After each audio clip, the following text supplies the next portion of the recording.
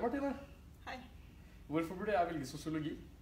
Det er verdens beste fag, ikke minst. Eh, har du noen gang tenkt over eh, hvorfor du ikke har på deg kosebukse på skolen? Det er litt kleint, kanskje. Ja, det er akkurat det vi driver og finner ut av. Hva er det som gjør at du ikke kan ha den på deg på skolen? Hvorfor føler du at det er kleint? Normer, forventninger, eh, er av det som preger sosiologien aller mest, eh, og det som er oss nært og kjært, mens antropologien går litt lenger ut og ser på det som er mye mer fjernt for oss, og kanskje ikke det vi tenker på i vår hverdag nødvendigvis. Mm. Hva er det man gjør i sosiologitimene?